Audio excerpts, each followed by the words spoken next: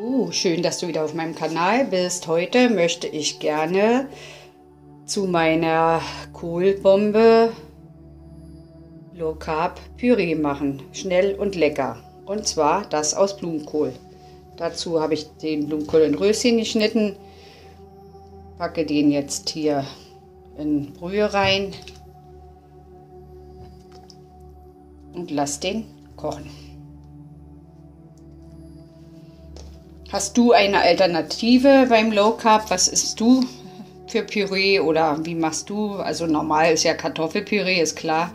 Aber äh, ja, wie gesagt, was gibt es denn da noch für dich als Alternative? Ich probiere das einfach mal. Ich liebe Blumenkohl sowieso, also von daher kann es nur schmecken.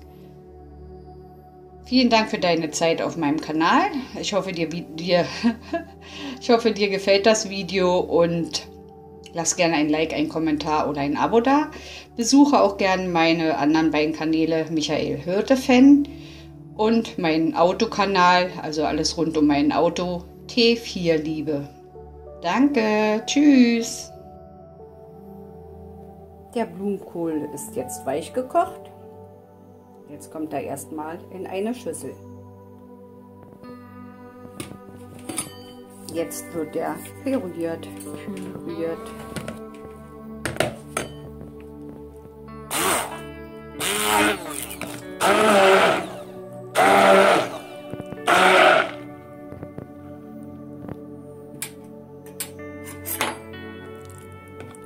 Das sieht schon mal sehr gut aus.